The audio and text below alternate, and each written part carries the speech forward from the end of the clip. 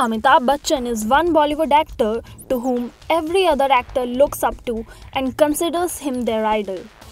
But did you ever wonder that who's the idol of everybody's idol?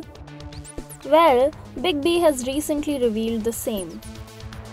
While on the sets of Sony TV show Superstar Singer, he revealed that he considers Dilip Kumar and Waheeda Rehman as his two idols in life.